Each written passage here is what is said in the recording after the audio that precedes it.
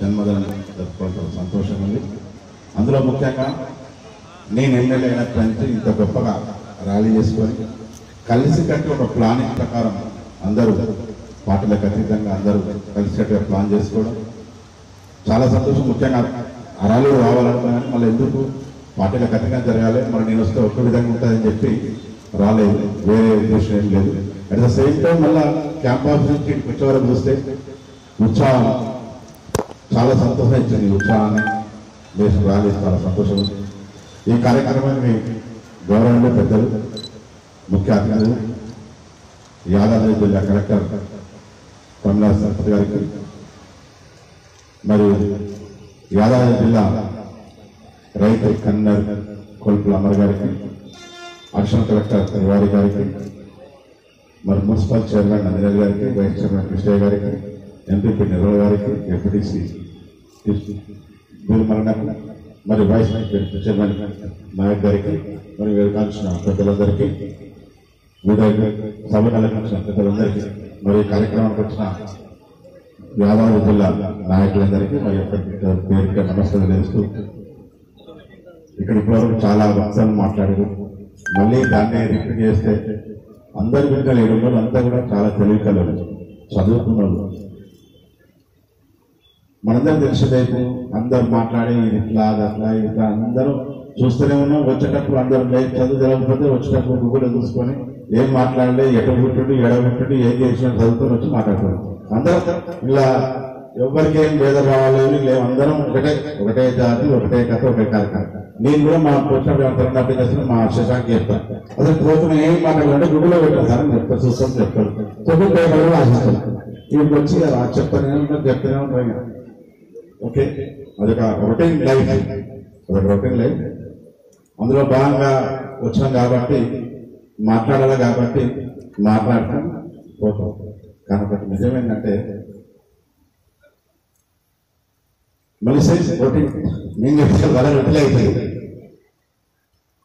ఇది తప్పేసి జాబ్ అయినా తప్ప మాట్లాడటం ఇప్పుడు డాక్టర్ కలుపులు అమలు చెప్పినట్టుగా ఒక చిన్న ఇంట్లో ఉన్న సమస్యలు కానీ ఇంట్లో ఉన్న అంటే చిన్నగా మనకు ఆలోచన విధానాన్ని రేకెత్తే విధానం ఏదో గొప్ప చెప్పారు అట్లా అట్లా కాకుండా మన ఇంట్లో ఒక గతంలో అయితే అమ్మ నాన్నప్పుడు తొమ్మిది మంది పిల్లలు ఎనిమిది మంది పిల్లలు ఉండేది.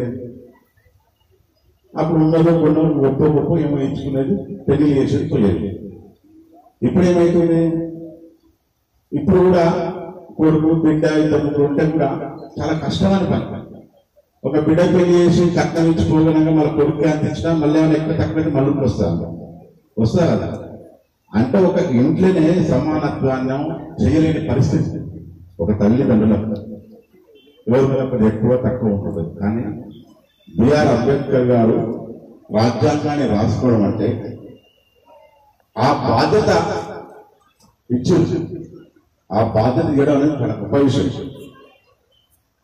అందరూ భారతదేశంలో గొప్ప గొప్ప నాయకులంతా ఒక బాధ్యత ఇస్తేనే ఆ కార్యక్రమం నడుస్తుంది. ఆ బాధ్యత ఆయన పురస్కరణలు పెట్టినప్పుడు పెట్టి వంద మంది అంటే ఇది క్యాజువల్ డిస్కషన్ పురస్కరణలు పెట్టినప్పుడు మళ్ళీ డిస్కషన్స్ అయిపోయింది ఇలా పెద్ద వేరే రా వేరే దేశాలు రాజ్యాంగ రాష్ట్రాలు కూడా ఎప్పుడు రాసుకున్నారు ఉన్నాయి.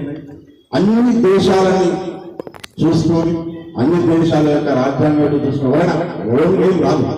ఏదైనా తెలివి అనేది ఉంటుంది. దానిలో ఏ ఎక్కడెక్కడ పోవాలో రాజ్యాంగం మొత్తం దేశ దేశాల్లో రాజ్యాంగం తీసుకొని మనకు అనువుగా ఏమి ఉంటాయి ఎన్ని కష్టాలు అనేది ఇక్కడ జాతులు కులాలు మతాలు ఎన్నో రకాల మన భారతదేశంలో ఏ దేశంలో ఇది వేరే దేశాలు పోతే రెండో కూడా ఏమో ఉంటాయి ఉంటే ఉంటాయి లేకపోతే కానీ మన దేశానికి వస్తే విభిన్నమైన దేశం.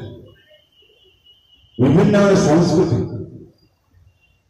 కులాలు ఈ కులాలు ఎక్కడ ఉండే మతాలు కులాలు పెద్ద మాట మన ఎక్కువ జనాభా ఎక్కువ పేదలు ధనికులు వీళ్ళందరూ దృష్టిలో వస్తుంటే మనం ఏం చేస్తామంటే కలిసి కట్టుగా పోతుంది ఈ టైం వీడిపోతాం ఆ టైం ఎట్లా పోదాం ఒక- ప్లానింగ్ ఉంటుంది.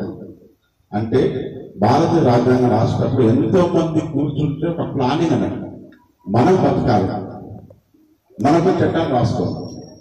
మనం ఒక చట్టాన్ని రాసుకోవాలి. ఆ చట్టం ఎట్టుందో అందరూ దాన్ని భద్రమైపోవాలి.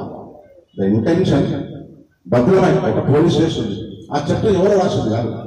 మనం ముందు రాస్తున్నారు మనంతా దానికి భద్రమై ఈరోజు మంచిగా ఎంతైనా మాట్లాడుకోవచ్చు. ఎంత అనుకోవచ్చు? ముందు దేశం. వీళ్ళంతా దేశం కోసం పోరాడాలి తప్ప మన కోసం అనుకోలేదు దేశం గట్టిగా ఉండాలి. అంటే ఇక్కడ ఉన్న కూడా ఆర్థిక శ్రమ వేసుకుంటూ దేశం అనేది లేదు అట్లా చేసి అందరూ మాట్లాడుతున్నారు. ఆర్థిక బాగాలని ఆర్థిక బలోపేతం చేయాలని రాసుకున్నాం. అన్ని రకాల రాసుకున్నాం. చట్టాలు రాసుకున్నాం. అంత గొప్ప దాన్ని పరిపాలించుకుంటున్నాం. ఒక ఒక చిన్నగా ఒక గమనించండి ఎప్పుడైనా అంబేద్కర్ రాష్ట్ర ముఖ్యమంత్రి చేసిన రెండు ఒకటే ముఖ్యం. రాజకీయంగా అర్థం చేసుకోవద్దు ఈ రోజు ఆ రోజు అంబేద్కర్ రాసిన రాజ్యాంగం రాసినప్పుడు అనుకున్నంతగా పేదవారు అభివృద్ధి చెందలేదు. మరీ ముఖ్యంగా దళితులు అభివృద్ధి చెందలేదు. దళితుల కోసం చేయాలనే ఉద్దేశంతో మన ముఖ్యమంత్రి కేసీఆర్ గారు మొన్ననే దళిత బంధు పెట్టుకున్నాం దాన్ని నిన్న హండ్రెడ్ యూనిట్స్ మనకి ఇచ్చిన కూడా తాజ్పూర్ గ్రామం మరియు ఒలిగొండలో ఉన్న గ్రామాలు దళిత బంధు అన్ని ఇంట్లో పార్టీ కులాలు మత సారీ పార్టీలకు అతీతంగా అందరికి ఇస్తున్నాం. ఒక ఒక విలేజ్ తీసుకున్నాం. ఆ విలేజ్లో ఎంతమంది దళిత యూనిట్స్ యూనిట్ వేస్తారు ఇరవై ఐదు మంది ఇరవై ఐదు యాభై ఒకటి యాభై ముప్పై ముప్పై ఇలా ఏ పార్టీ లేకుండా తీసుకోవాలని మా ముఖ్యమంత్రి చెప్పాడు. దానికి అనుగుణంగానే ప్రతి మండలానికి ఒక గ్రామం తీసుకున్నాం. ఒలిగొండ మండలంలో తీసుకున్న ఒక గ్రామం. కేర్చిపల్లి మండలం కేర్చిపల్లి. ఇక్కడ ఇది ఈ రోజు ఇక్కడ రెండింటి కూడా ఇస్తున్నాం. నేను చెప్పేది అంటే మనమంతా వాళ్ళు తీసుకున్న వాళ్ళంతా ఆర్థికంగా బాగుండి తద్వారా వాళ్ళ పిల్లల చదువులకు కానీ వైద్యంగా ఇంకా ఏదో అవసరాలకు తీర్చుకోవాలి. మనం ఎంత ఆర్థికంగా బాగుండాలి. మొన్న ఒక బాబు చెప్పిండు ఈ స్టేట్ ఈ స్టేట్ చెప్పిండు. ఒకటి చెప్తా. రెడ్డిస్ బెంగళూరులో బీసీ. రెడ్డిస్ బెంగళూరులో బీసీ. అంటే ఇక్కడ మనం ఎవరు చెప్పిన రాజకీయాలు బీసీ అని చెప్పారు కదా. సో రెడ్డిస్ కూడా అంటే నాకు అయినా నాకు కూడా చెప్పట్లేదు. నార్మల్ చెప్తున్నా సో అట్లా ఇదంతా ఆర్థికంగా ఆర్థికంగా బలోపేతంగా కులాలు అనేది మనం కట్టుకునేవి మనం ఏదో పుట్టేటప్పుడు నా దేవుడిని నేను అడగలేదు నీ కులం పుట్టి అని మీరు మీరు అడగలేదు ఆ కులం పుట్టు మీ తప్పు కాదు నా తప్పు కాదు. ఈ వ్యవస్థలో ఉన్న లోపాలు. వ్యవస్థను బాగుపరచాలి లోపాలను సర్దిద్దుకోవాలి అనేది మన ఆశయం ఆకాంక్ష. ప్లస్ పేదవాడు గొప్పవాడుగా ఉండాలి ఎప్పటికైనా పేదవాడు పేదవాడు ఉండొద్దు అతను కూడా ఆర్థికంగా బలోపేతం చేస్తూ సమానత్వాన్ని నింపుకోవాలనేది ఆశయం ఆకాంక్ష డాక్టర్ బిఆర్ అంబేద్కర్ గారు. కాబట్టి దానికి అనుగుణంగా మనం అంతా కూడా ఉండాలి. ఇప్పుడు చదువుతున్నారు చాలా మంది చదువుతూ ఉంటారు. ఒక డాక్టరేట్ ఉంటాడు బాగా చదువుతూ ఉంటాడు హండ్రెడ్ హండ్రెడ్ తెచ్చుకుంటాడు అయితే మనం ఇప్పుడు కొత్తగా ఉద్యోగ అవకాశాలు వచ్చినాయి. మనం ఇంత ఇంతమంది యువకులంతా ఈరోజు ఎంతో ఉత్సాహంగా వచ్చారు కదా. మనం మనమంతా మన మన జాతిని మనం బాగుపరచుకోవాలి మన జాతి ముందంజలు ఉంచాలి మనం అనాథ అనాథ అనాథ కింద ఉన్నాం. దాన్ని పెట్టుకొని ఒక ఒక చదువుకున్న ఉంటారు వాళ్ళు ఏం చేయాలి? దళితుల కోసం ఒక ఇన్స్టిట్యూట్ రేపు వచ్చే ఉద్యోగాలు. ఈ యాదాద్రి జిల్లాలో దరిద్రమే మనం ఓపెన్ కేటగిరీలో కొట్టుకొని ఇంకా మన పేదవాళ్ళు వాళ్ళకి అవకాశం ఇవ్వచ్చు. అంత గొప్పగా చదివి ఇదే దగ్గర సమ్ రిజర్వేషన్స్ ఉన్నాయి కదా ఆ రిజర్వేషన్లో మేము నేను తీసుకోకుండా ఇంకా బాగా చదివి ఇంకెవరైనా నాకు దాకా నాకు చదువు తక్కువ ఉన్నా కూడా అతనికి అవకాశం కల్పించే విధంగా బాగా కష్టపడి చదివించి మీరు ఇంకొక అవకాశం ఇస్తే మాక్సిమం ఇచ్చిన అవకాశం మీకు ఉంటుంది. ఎన్ని వేకెన్సీస్ ఉన్నాయో ఎన్ని ఉద్యోగాలకు వస్తున్నాయో దాంట్లో సింహభాగం మేమే తెచ్చుకునే విధంగా అప్పుడు కష్టపడండి.